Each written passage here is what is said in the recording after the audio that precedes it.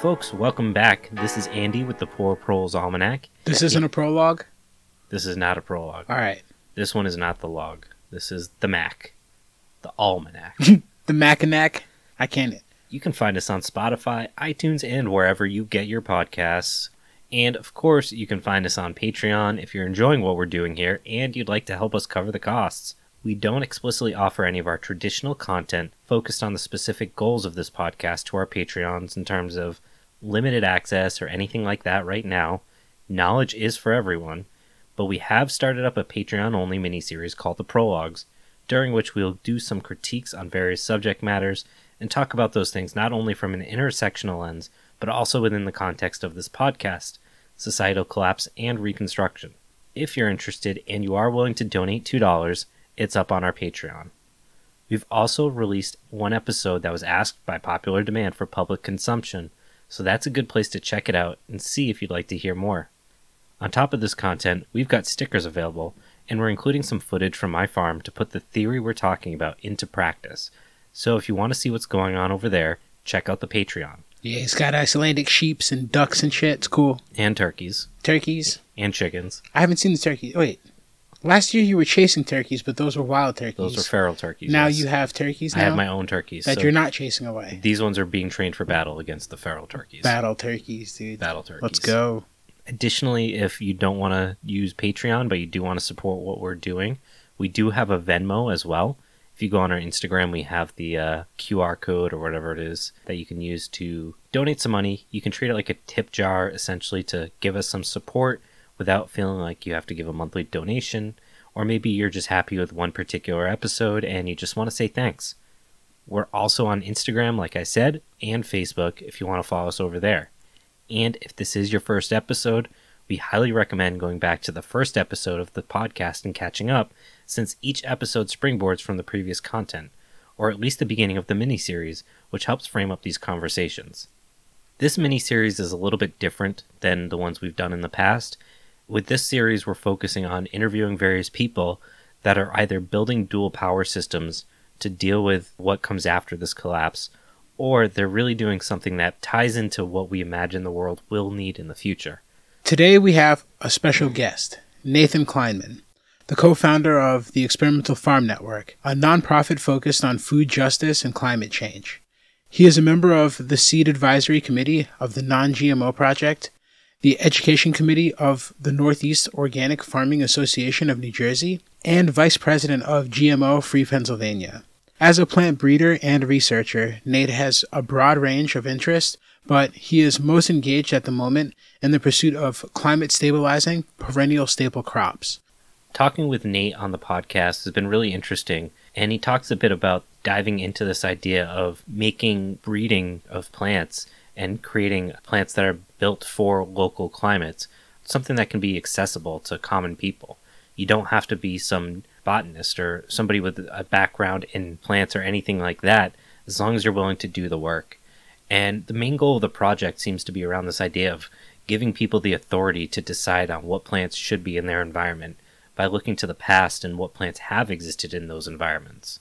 So I think it allows us to start having these conversations of what food systems can look like outside of the way we do things today. The state of mind you have to be in for this conversation that we had with Nate is that I guess it's two worlds colliding where it's the kind of the buy local um, aspect of relocalizing food systems and also the future of those food systems. They're not in hands of corporations or businesses, but also in the hands of those who are growing local food. It's a, a comprehensive understanding of food and where it comes from and our place within that food system. And also its future. I think that's future, that's yeah. what it point that's what this conversation points to is the food we can grow now and also the future of where these crops can potentially go for us. First, thank you so much for coming on. Tell me a little bit about how you ended up getting in this very unique part of farming. Sure. Um, well, it's uh, it's definitely a long story, but I I have been interested in growing food, growing plants since I was a real little kid. But it's not something I ever thought about as a career until uh, my experience in in my late twenties, early thirties, doing um, hurricane recovery work with Occupy Sandy. Um, I'd been involved in the Occupy movement, and after Hurricane Sandy smashed into New Jersey and New York, and I was living in Philadelphia at the time in, in the Philadelphia area, I, realized that this is uh, climate change is, is going to be the single most important issue of my lifetime. And after doing that work for a year, I, I realized I could probably spend the rest of my life bouncing from disaster to disaster doing relief work, or I can try and do something to get to the root of the problem. And um, I happened to go to a talk by a guy named Eric Toensmeier in the summer of 2013 about perennial industrial crops and uh, carbon sequestration and I realized that we've got a lot of work to do um, changing our agricultural system to become a weapon against climate change rather than a driver of it. That was what made me decide to start the Experimental Farm Network. But I'd been interested in seeds for a long time and collecting seeds for, for a few years before that, uh, saving seeds. And so these two things sort of meshed together, and that's uh, that's really how how my life in this work started. So, did you have any background in botany or um, any, I guess, technical education before you got into this? No, um, self-taught, taught by many mentors and friends along the way. Uh, I studied foreign policy at Georgetown for college. Awesome, definitely going to work. So, our project here has been really focused on this idea of community empowerment, in particular around this idea of sustainable uh, systems that we can apply. Uh, so I do want to talk a little bit about that because I think that's uh, a main driver for what you're doing. I'm always curious what that really looks like in practice, and I think there's a lot of people that will always agree that community empowerment and self determination are great things, but actually translating that into something that actually works and is I don't want to say self replicating, but um, like once people buy in, they continue wanting to be a part of it as a farmer, I tend to think about things like what you're doing as being really intimidating, even though I grew up around it. So, like selective breeding, while it might seem very simple at first, it's not when you're actually doing it, as I'm sure you know. So, I am curious about specifically the perennial sorghum project you've got going on. How do you get people to feel confidence in getting involved in these types of projects where it seems like they're handling something that might be like a rare seed or that they might mess up? That's a that's a great question. I I try to tell people that seeds are here in abundance. We we have lots of them. If somebody really doesn't trust themselves with something very very scarce, you know, I, I'll I'll take those concerns. But for something like a, a breeding project like that sorghum, we've got plenty of seeds. If somebody fails, they fail. But if uh, if they don't try, then they're never going to succeed. So I, I, tell people that farmers have been breeding plants for ten thousand years. The, we wouldn't have agriculture if it wasn't for illiterate farmers in in uh, pre-literate societies uh, who were growing the plants that did well for them, growing the plants that they liked, the plants that tasted good, the plants that the animals didn't want, um, the plants that survived the droughts and the rains and that's how agriculture was born. That's how every vegetable that we eat was born. Um, so it's, you know, th- this is something that I, I, I definitely understand that a lot of people feel intimidated by it. There's some there's some fear around it, but it's only in the last hundred years that this has been become a professionalized career that people go to school for plant breeding degrees. Until then, nobody needed it, and I would I would say that in a lot of ways, our agricultural system was a lot more resilient uh, before all those professionals got involved. Yeah. So I'm curious personally, as somebody that's obsessed with the idea of perennial plants, kind of what your vision is in terms of like these perennial cereals and grains and things like that that you're working on. So I think that perennials are the future of agriculture. Farmers who who grow perennials generally have to work a lot less once they're once they're established. The environmental impacts of perennials are are most important and the climate impacts.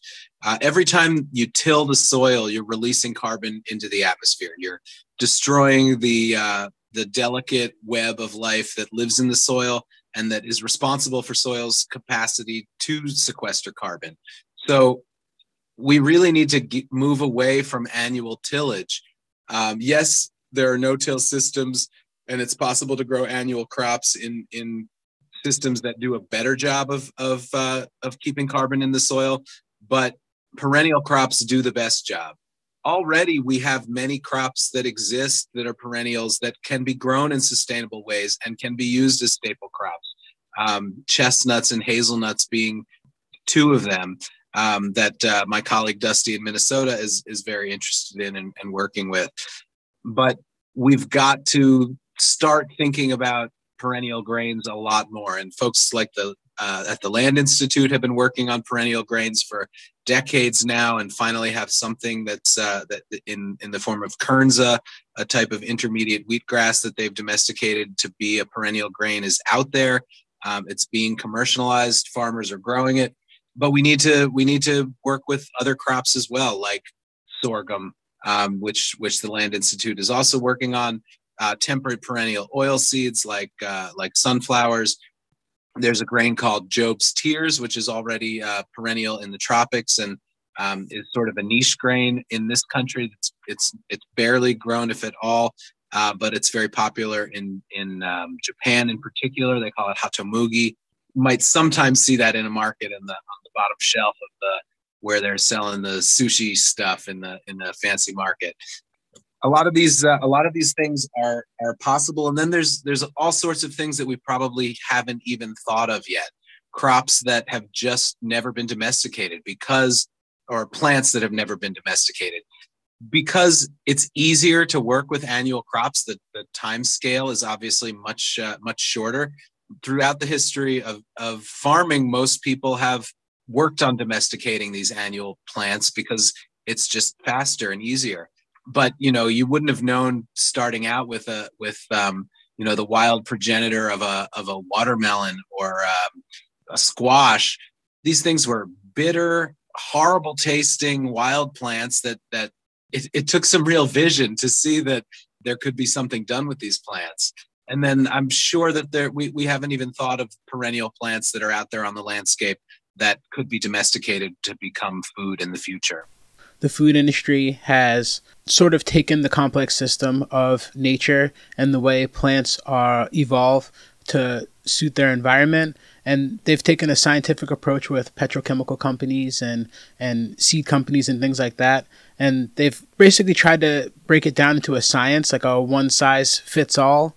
And your approach is more I guess for lack of a better word, we'll say grassroots, and it puts the power back into the people who are getting these organic seeds and growing them in different climates in order to maximize their resiliency and um, you know improve on the food itself. It, it seems like you're putting the hands back into the consumer's hands, and so how does this tie into like say like the buy local movement that people um, always encourage like buy local and buy locally grown vegetables. Can, can you still do this with this project? Are those two things um, compatible or is this more experimental? Absolutely. The, the, the corporations, the corporate approach to agriculture, which um, I, have to take issue with framing it as, as being based in science. It's really based in profit. And um, they would, the, the, they use this, um, this idea that they're science based and that it's all perfected technology that's really just propaganda mm-hmm. so that they convince people that their way is right. But in reality it's not based in science. It's not based in the best science that we understand about biodiversity um, and about climate change and about resilience of, of plants and, and people. In reality we are safer as a species if we have an immensity of crop biodiversity out on the landscape, if we have incredibly localized systems where people are growing crops that are adapted to their microclimate from seeds that were produced in that microclimate. instead, we have these big companies that are trying to sell a one size fits all um, that actually doesn't benefit the farmers. It doesn't benefit consumers. It only benefits the corporations and their shareholders. And that's really uh, that's that's really the bottom line. We need to get back to a much more hyper localized system. So part of what what we do in our um, in the seeds that we sell and efn is is not just a, a project of uh, conducting research but we have a, a we we fund our work through seed sales. We decided to do that because we didn't want to be dependent on foundations and donations in the nonprofit industrial complex. So we sell diverse breeding mixes. We sell what are called land races, which are unimproved traditional varieties associated with a particular geographic region that are incredibly diverse, resilient, uh, because that's how people all over the world are going to be able to get out of this hole that's been dug for us by these corporations by growing their own seeds from diverse populations, selecting year after year for what does best in their area. You know, we have our government has has hundreds of thousands of seeds in these seed banks around the country, uh, and they're just sitting there. For the most part, the only people who take the seeds out are corporations and university researchers. But um, these are available to anyone with a legitimate research, breeding, or educational purpose. And so, getting these seeds out there so that they're being adapted to this changing climate, they're not just sitting in a freezer somewhere.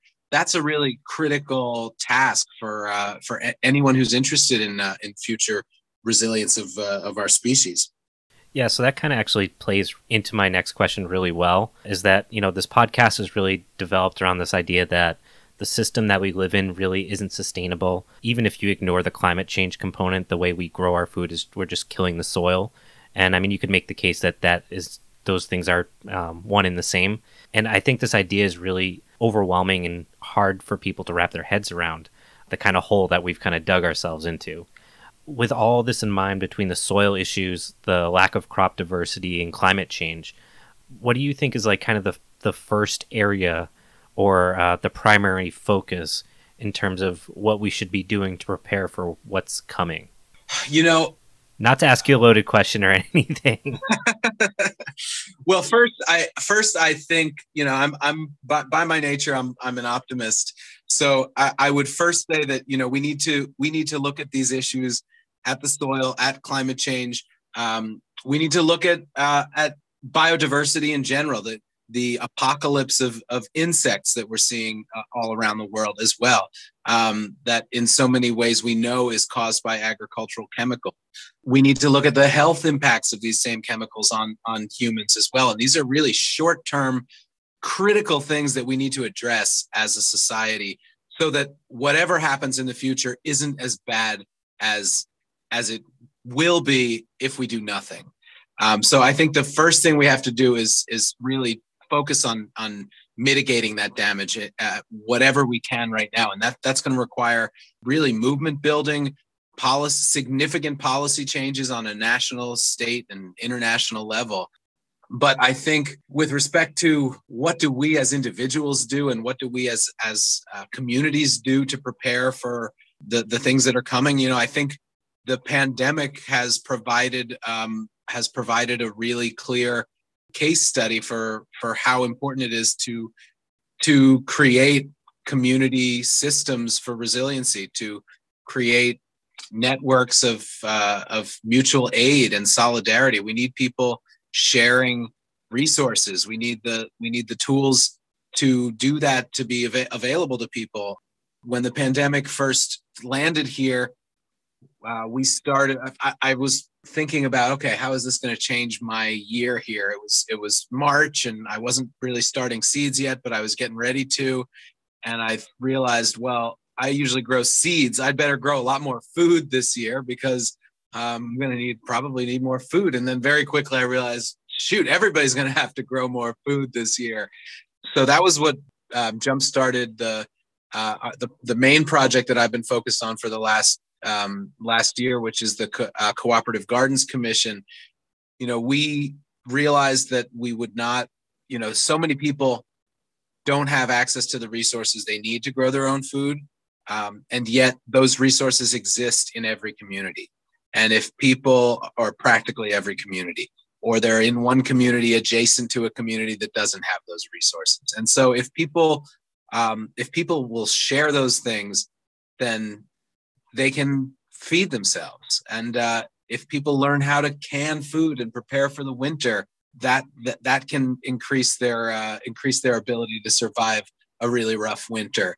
And uh, we recognized pretty early on that seeds was going to be a, a, a critical hole because seed companies just didn't have the capacity as far as staff to deal with all the orders that were coming in, and that we started getting swamped with seed orders uh, a week into the into the uh, lockdowns, and the same started happening with seed companies uh, across the country and around the world. And seed companies started shutting down their websites and um, saying that it would be six weeks before any orders go out, and it, it was a real mess. Uh, so what we did was because we had so many uh, friends in the seed industry, we were able to find people who were willing to donate seeds to us, uh, and then we set about redistributing those to uh, local and regional seed hubs around the country. Had people apply and started organizing conference calls and Zoom meetings, and we got free space in Philadelphia at a at a leftist bookstore, and we just started packing packing seeds up and sending them around the country. But you know that in a in a bigger crisis, you know, people might not be able to rely on some kind of centralized uh, national organization like that to do that work. So it's really really important that people have community-based solutions, community seed libraries, community seed banks, that individuals be saving their own seeds because it's um, that that's how we're going to feed ourselves. Yeah, I'm I'm very curious from your perspective. You probably know a lot more about um the the diversity of species that we don't see on the shelves better than I do. I'm kind of curious if you're, I guess, and I, I don't want to call it end goal, but um, in an ideal world, if our food system would look kind of like our craft beer system, where towns and communities have their local flavor almost. And I mean, you could make the case that doesn't really exist anymore with craft beer, but I think that general idea that every town has its own like three breweries uh, might speak to like every town has you know something that people know it for in terms of food, where collective culturally it could almost even be a part of that community's identity, which in a lot of ways goes back to how things used to be before big beer took over the beer industry. You could say the same thing about when big agro took over the food industry. Uh, this kind of return to hyper localization, and that that becomes a part of that community identity.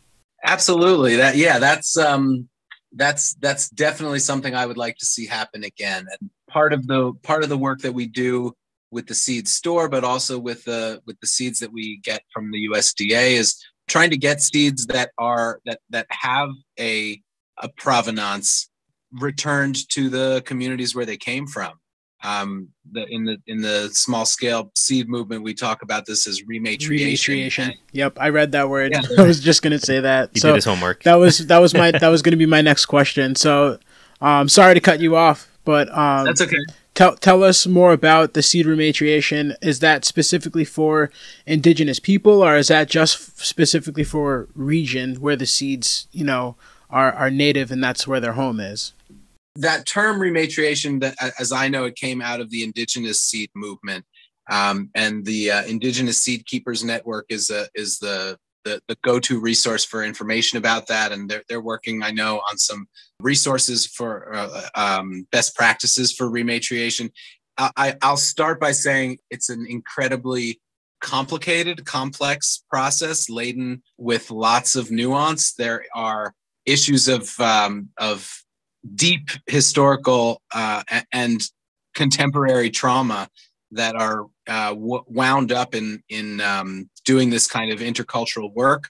Uh, in particular, in in uh, talking about rematriation of indigenous seeds, and the really the the leaders in this movement are indigenous people themselves d- doing this work, like uh, folks like Rowan White, and at the same time, rematriation can be used as a term to apply to uh, returning seeds to to any community where the seeds came from.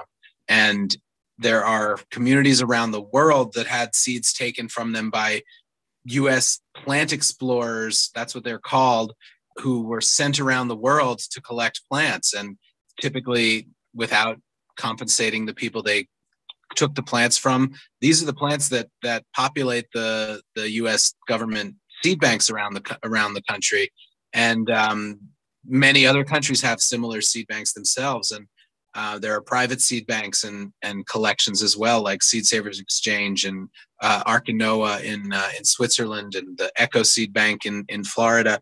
Um, so these are, you know, there are communities around the world that have lost their agricultural heritage, which is a key part of cultural heritage, and yet those seeds may be sitting in a vault somewhere uh, or sitting in a in a freezer somewhere.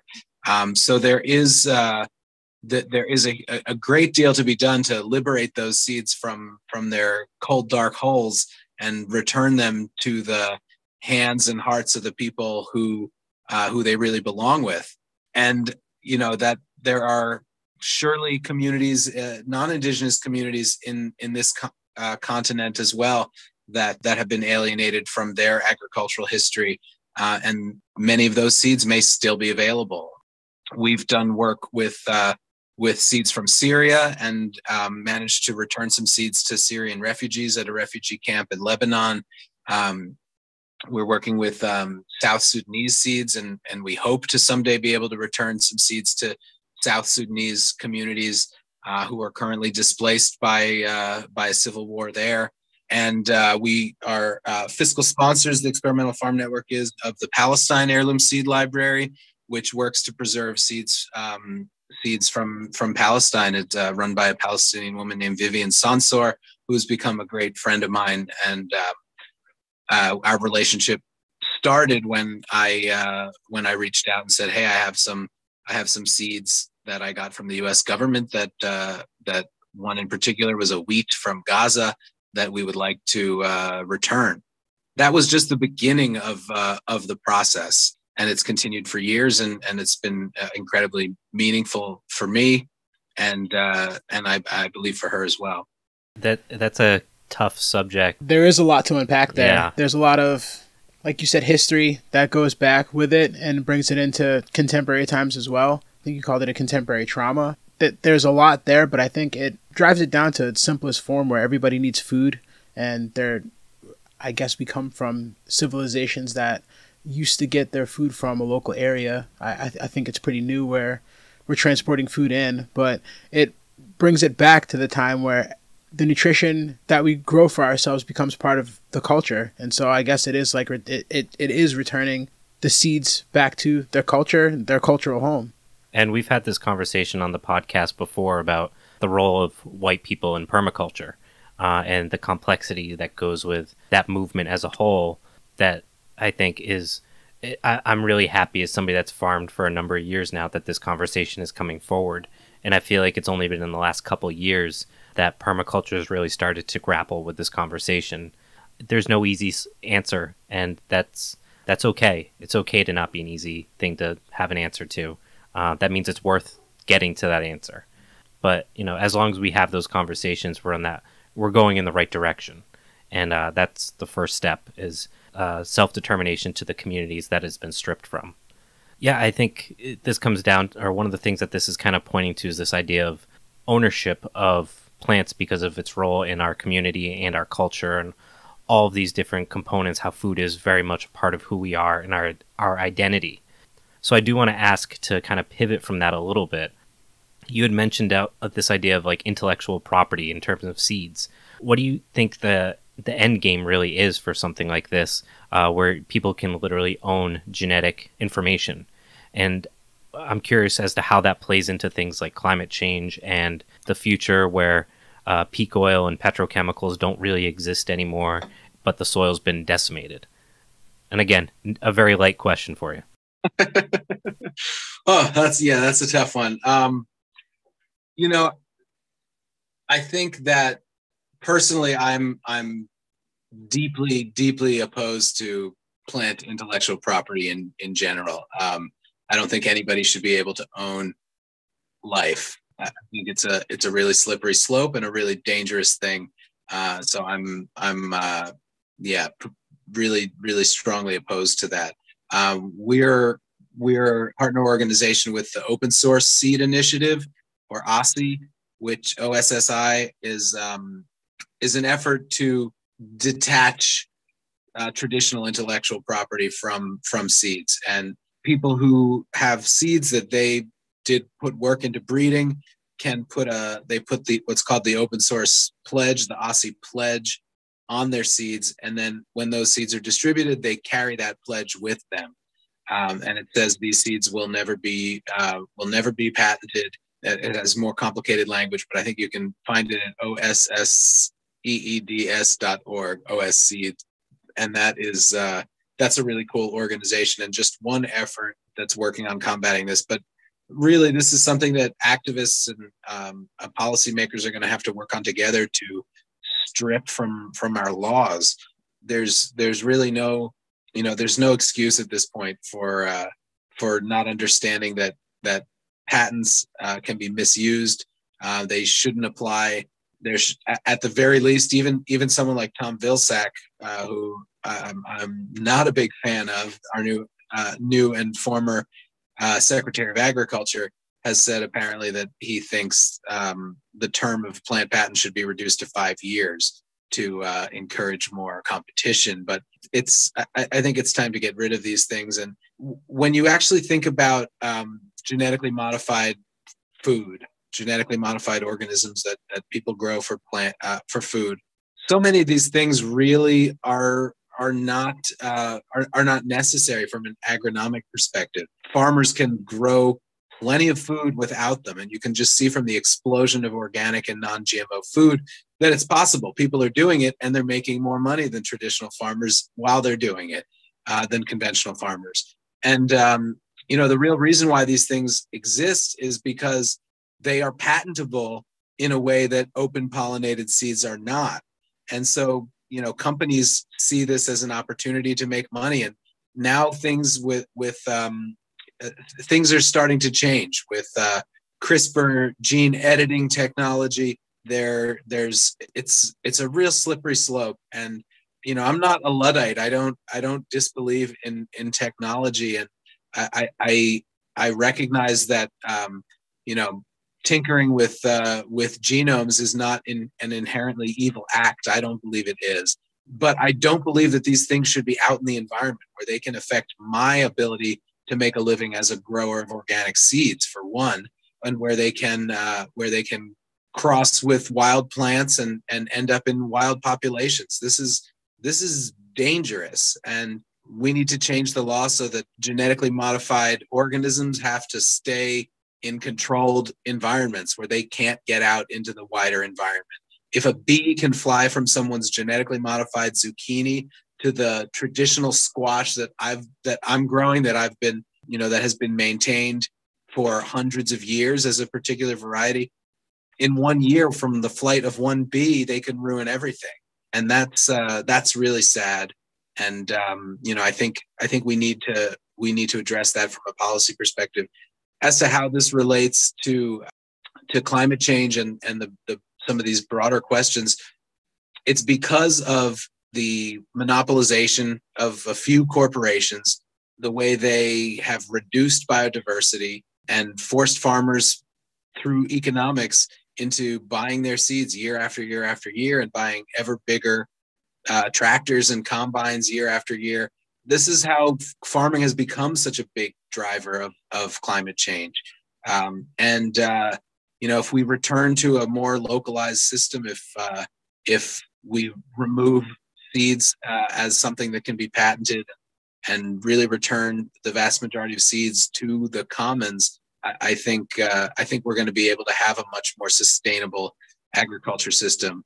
But I do want to add, uh, uh, now that I, I used that word in this context, that again, in, in considering the relationship that Native American people have with seeds, it's important to realize that you know being a white person and saying that all seeds should be in the commons is uh, is a way of um, of marginalizing and uh, and diminishing and and um, uh, not understanding indigenous attitudes to seed. And um, so for people who for whom seeds are sacred um, the, whom seeds may be considered like a relative. Or ancestry. Yeah the ancestors these are not something that can be claimed by anyone as part of as part of the commons. These are something that um, that that have a particular identity associated with a particular people, and and those people have, um, I believe, and and they believe have the to uh, to determine what happens with those seeds and uh, and and what they're used for. So this, you know, even this concept of the commons as it applies to seeds is is um, is a pretty complicated one, and it's something that uh, that deserves much more uh, thought and attention and discussion. Yeah, absolutely. So, one of the things that I am always kind of trying to wrap my head around, and something we've talked about in the past, there's a lot of foods eh, that have been lost, and a lot of, um, like you said, plants that either haven't been discovered as a food resource or maybe they are, but they haven't been fully utilized. Um, is there a specific plant that you, in particular, are like, we should be doing more with this, and it, it has uh, a bright future in the the future of food? Oh, I mean, there are there are really countless plants like that, um, and I I think that um, you know I I would struggle to name just one, but uh, you know I'm I'm excited about all sorts of plants that. I mean, you mentioned sorghum in the beginning. Sorghum is a plant that is actually one of the most widely grown grains in this country, but it's it's primarily grown as animal feed and people are starting to eat it more now because it's a gluten-free grain and it's uh, it's it's useful in both in gluten-free flour mixes and and as a as a standalone grain or uh, grain for flour for for gluten-free baked goods. It makes a decent beer. And makes a decent beer, absolutely. Uh, it actually makes the most the most widely consumed liquor in the world is is uh, made from um, distilled fermented sorghum, and that's called that's uh, Baijiu in in China. But it's something that uh, it's something that uh, requires much less inputs than corn. Uh, it requires less water than corn. It can be grown on more marginal land, and it's you know it, it nutritionally it's it's incredibly valuable. It, it, can it can withstand a drought. It's it's just a, a wonderful crop. Uh, some varieties you can get a grain crop from the seed head, and then you can press the stalks and get a sugar crop uh, and, and make sorghum molasses. So that's that's one. I'm I'm excited about some crops that are not really uh, not really widely grown anymore. There's a, a, species of buckwheat called Tartary buckwheat that I'm pretty excited about these days. I've got some of that. Oh yeah, all right. Tartary buckwheat is wonderful, and it's um, it's got more antioxidants. It's healthier than than your traditional buckwheat.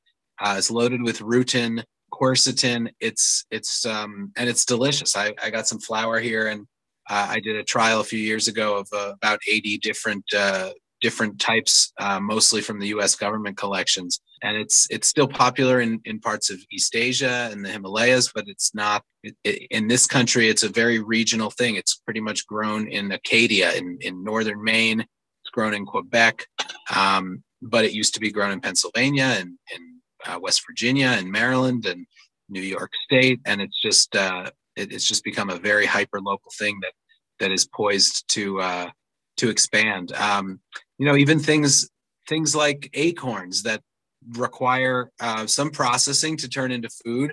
People, you can buy acorn flour if you go to a Korean market, um, but you can't buy acorn flour at most markets here, even though our woods are full of them.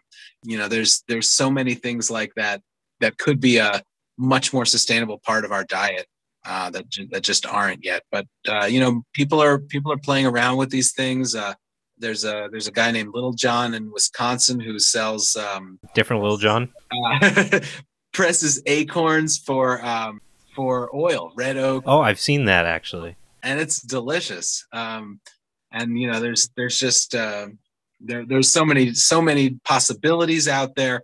We just need more people experimenting with them playing around with them and and popularizing them. But i think we will get to a point where and it's happening already. There that some of these hyper local foods uh, become popular again that actually brings me to my next question where you had mentioned earlier with relocalizing your uh, our, our food systems and having people, you know, prepare foods for the winter and learning to can or make jams again. How should people, if they're interested in this and they want to grow new foods, how do they go from, you know, growing the new food to harvesting it and using it for those multiple purposes? Do, is it all experimentation or is there a resource that you go to or is it all word of mouth where you find people who have experimented with these ingredients and know how to make things out of it? Um, that's uh, you know, there's a there's a lot of different ways. Yes, um, some experimentation is usually required, but the internet has got so many amazing resources for this, and there are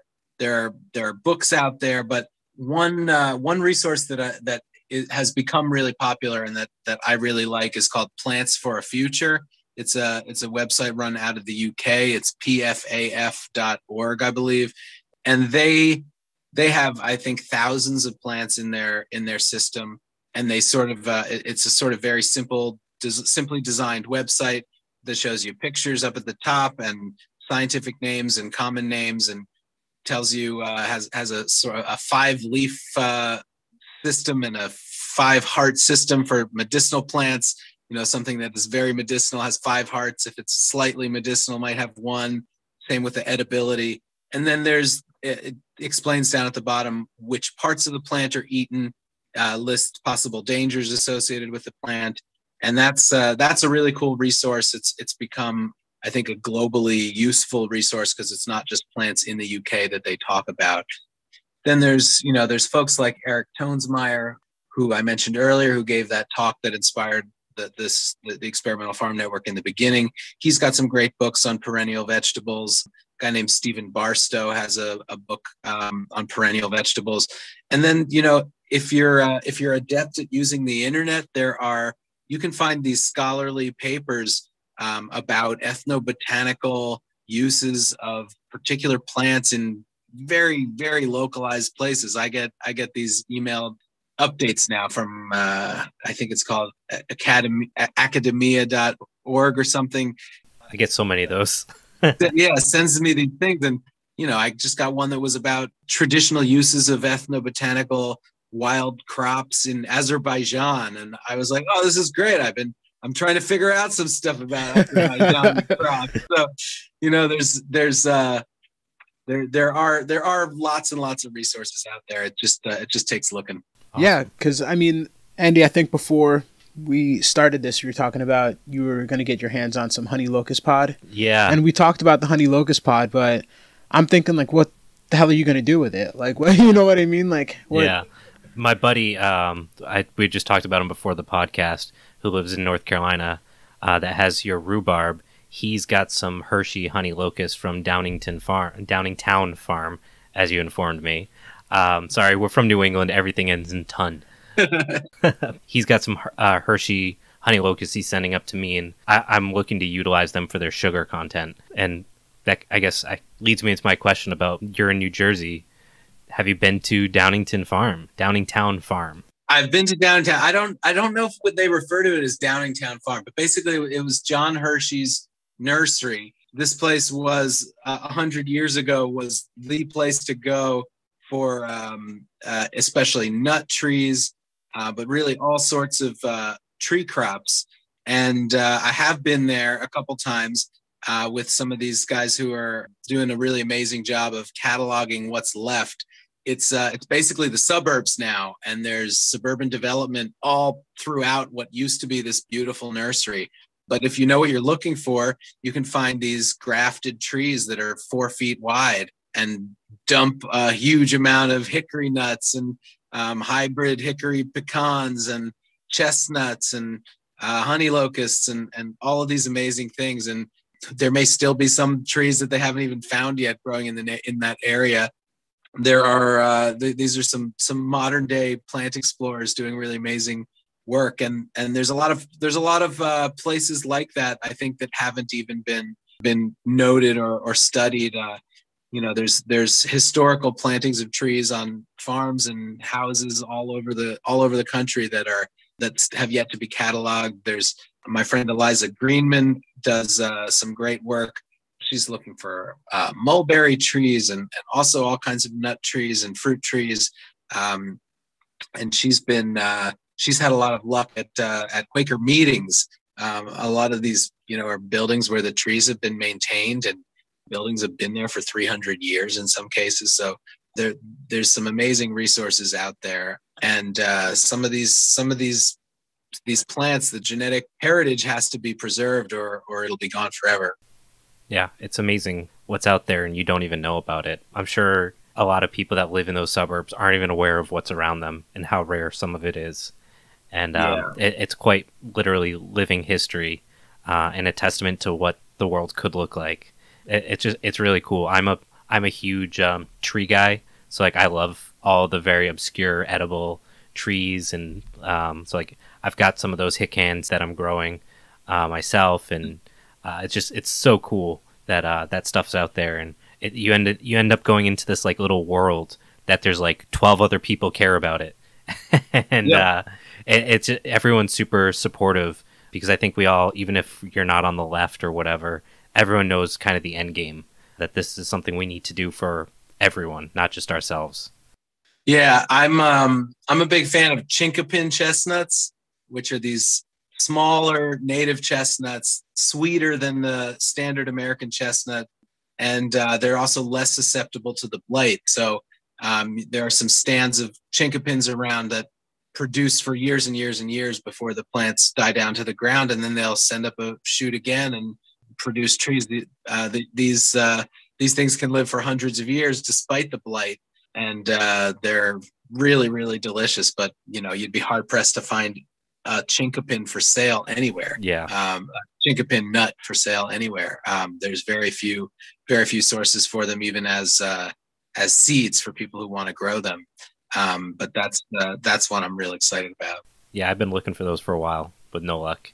Edible Landscaping in Virginia, I think, used to have them, but I haven't seen them in years on their website. Um, you want to check Route Nine Cooperative in Ohio. They have uh, they they may they probably don't have any now. Uh, it's too late, but if you get them in the fall, they often have chinkapin seeds for sale. Uh, Sheffield's in New York State has some for sale sometimes as well. Cutting that out of the episode. No one needs to know about that. Personal info. So let me ask. Um, I, we're kind of digging in deep on stuff that a lot of people listening probably aren't familiar with. So we have a lot of people that are first-time gardeners. What would your advice be for somebody that thinks like this is super overwhelming, especially when you're like we're talking about all the things we're talking about, and we haven't talked about cover crops or a lot of pests or any of these other things. Like, what would be your advice for those people? Just grow what you like. Talk to people who know who do grow in your area who have experience and find out what they like to grow. Find out what grows well in your area and just try it. And don't try one thing but try a bunch of things and expect that you're going to fail. But just be comfortable with that failure because if you don't try you're, you're there's no chance you're going to succeed. So try as much as you can and uh, don't sweat it. If you kill something you'll try it again. And um, seeds are abundant. They're around. So don't worry if you kill a few of them. I kill things every year. So, for folks that think what you're doing is really cool and want to support what you're doing, where would you recommend them to go to help support you? Um, well, for one, if they're interested in getting seeds from us, they can check out efnseeds.com. If they want to join a breeding project and uh, or, or any other of the participatory research projects on our site, they can go to experimentalfarmnetwork.org.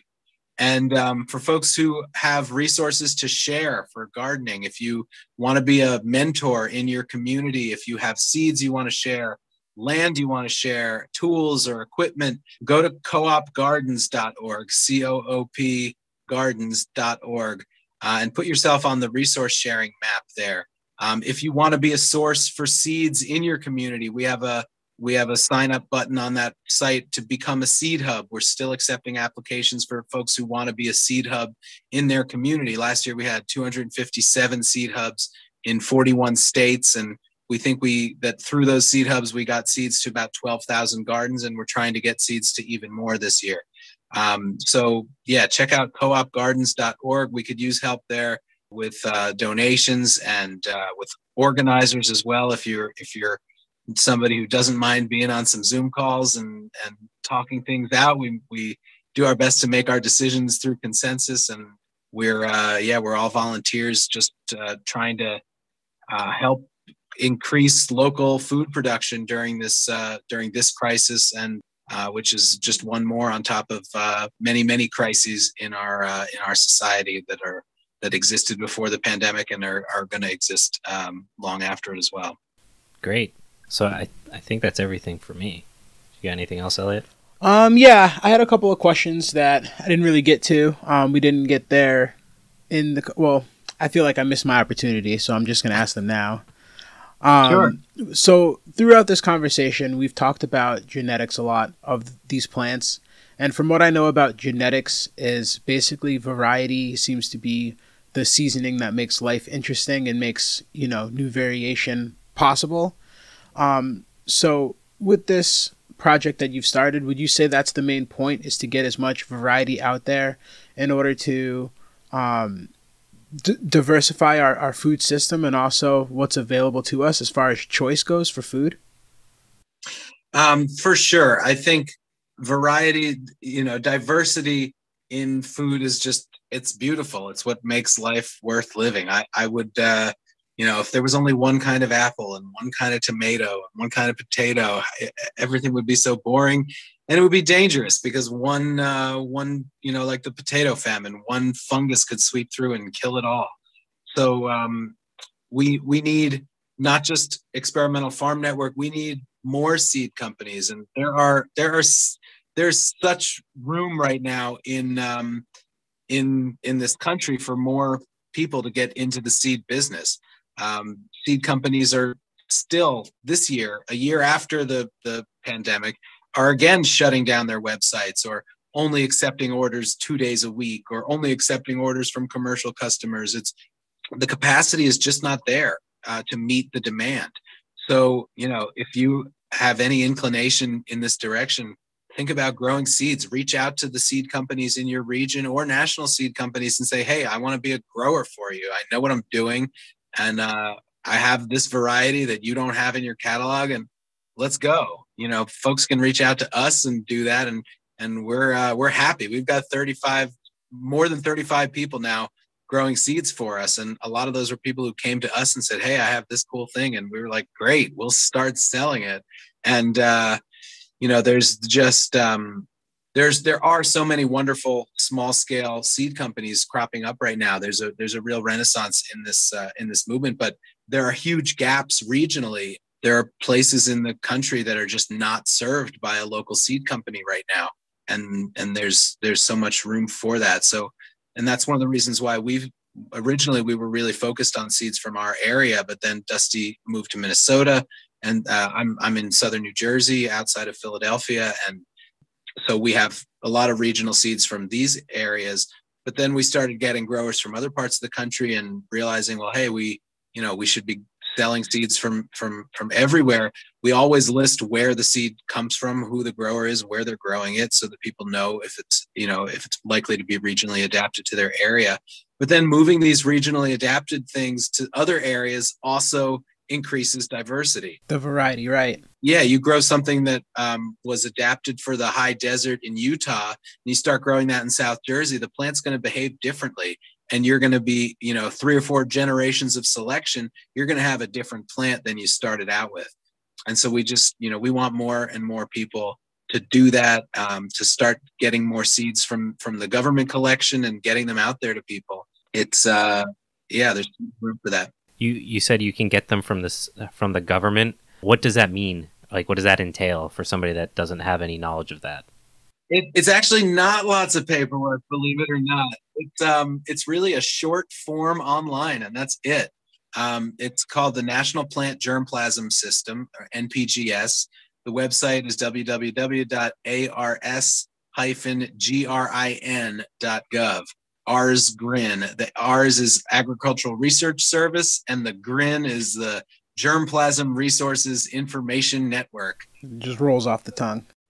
Yeah. Um, but uh, you know, there there are they they are not going to sell seed. They're not going to give seeds, and this is all free. They won't give seeds to folks who they think are just going to be growing them in a home garden. They want to send seeds to someone who has what they consider a legitimate research, breeding, or educational purpose. So you have to write a paragraph explaining what your use is. If you have an organization name that you can attach to your request, you have a much better chance of uh, getting those seeds. I've done a couple of talks recently on this subject. There was one I did about a year ago at the Organic Seed Growers Conference that I think is on YouTube.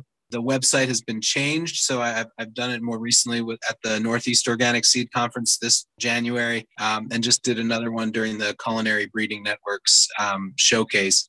And that is, um, yeah, it, it goes through some of the process. You know, it's these are precious resources, so you know they're not to be they really should not be grown for you know one year and then you're gonna you're not gonna save the seeds yourselves These are these seeds are meant to be grown and shared and worked with, uh, used for breeding projects or selection to uh, have them have, play a role in our food system, and not just food, but medicine, fiber, dye plants, uh, industrial crops, all, all, sorts of other things that uh, useful plants that are out there. So uh, that actually brings me, I think, to my last question: is uh, if somebody is listening to this and they're like, "It's a, something I've always wanted to do, but now I'm kind of motivated." Like, what kind of space do you need, like, to grow the plants or anything uh, we like started our seed company operating, uh, growing on about an acre, acre and a half. You know, you can, and and that was with a lot of unutilized space. You can really out of a large garden you can be growing seeds as long as you're isolated from your neighbors or you're growing species that you know your neighbors aren't growing um, you you can get into it if you have a local farm that has some extra land and you can convince them to let you grow some things in the corner somewhere do that. We've been farming on somebody else's land for the last eight years. And uh, you know there's that um, we are where we are because they've been generous enough to, to let us use that land for free. We're still on uh, we've we've expanded down the field a little bit but it's still less than two acres. Dusty grows in in uh, minnesota as well. They're they're only growing seed on on an acre so um, maybe a bit more and uh, many of our growers are growing in, uh, in, in you know small farms or even in uh, suburban housing we have farm farmers who grow in urban uh, situations and and can produce seeds there for us and it's a lot of plants like i said seeds are abundant and you can grow a lot of seeds from a small amount of space. Um, there's some great books out there. Suzanne Ashworth, Seed to Seed, is a great book about about growing seeds. Um, there's just a, a, a, number of great seed resources out there. Seed Savers Exchange has wonderful resources online for how to learn how to um, how to save seeds, and you know it's it's important to know what you're doing so that you're not selling seeds or distributing seeds that are all crossed up and are not what you say they are. But it's not something that you can't learn. Great. Do you have anything else you want to add? No, I think we pretty well covered it. I, I could talk all night, as you imagine, but uh, I really appreciate the opportunity. Me too. It's a dangerous game. Yeah, with you two guys, yeah. I feel totally out of my league here. I, I've never. I think the last plant that I grew was in a red solo cup, and it sprouted, and I planted it outside, and it, it died. So I, I we're gonna may, work on that may, this year. Maybe I'm gonna get some seeds, uh, get them to germinate. I don't even know if I can do that. I'm confident in you. We're gonna work on. That. I have no faith. No but, faith. Well, right. Nate, thank you for your time. It was a pleasure to have you on. It was very nice to meet you. I, I would say good luck to you in the future, but you guys are absolutely crushing hey, it, and I don't you. think you'll need it. So, thanks yeah, so much. Thank you so much.